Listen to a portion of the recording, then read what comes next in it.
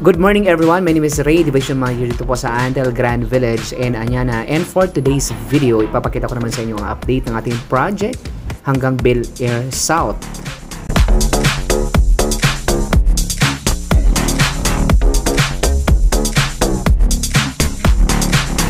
And today, no, uh, pinapakita natin yung ating Bel Air West, Bel Air East, Bel Air Central, Bel Air South. Ayun siya, visible na visible na ating Bel Air South kasi that is our pre-selling project. And yan na po yung ating pinaka phase 4. Kasi sold out na po yung ating phase 1 and 2 and central almost na po. And phase 4 na po tayo guys.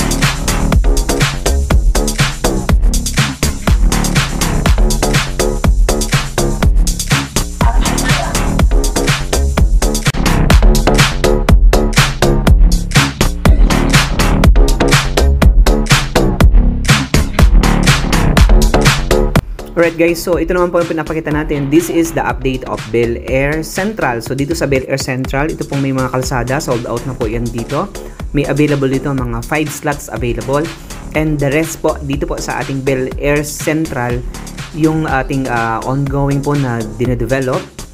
May available slots pa po tayo guys. And this is the Bel Air Central. May mga kalsada na siya. So far and so good. Maayos na po yung ating project and konti na lang guys magto-turnover na po tayo dito sa atin pong pinaka Bel Air Central mga investors.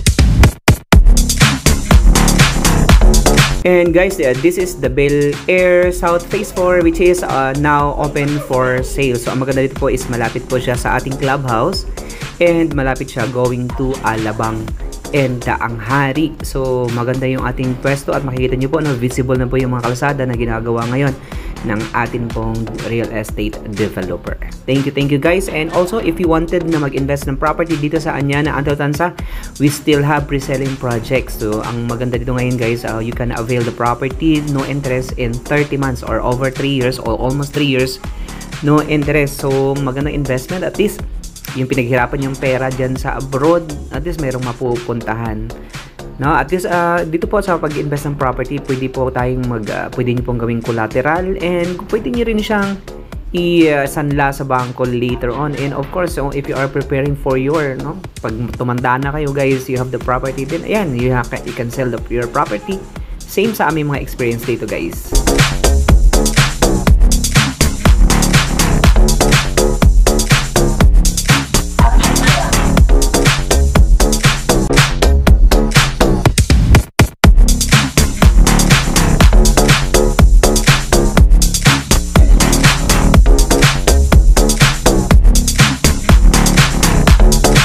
And this is our hot sale today. Itong ating mga modern houses. No more on glasses.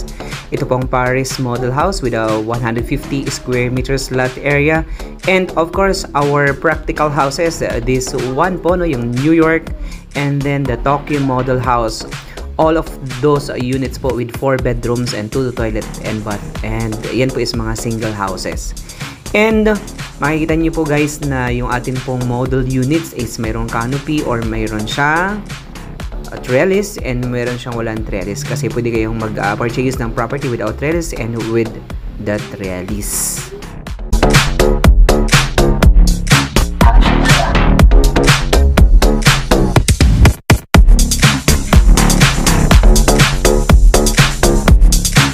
Alright guys, so thank you so much again. So my name is Ray Milera, Division Manager dito po sa Antel Grand Village in Anyana.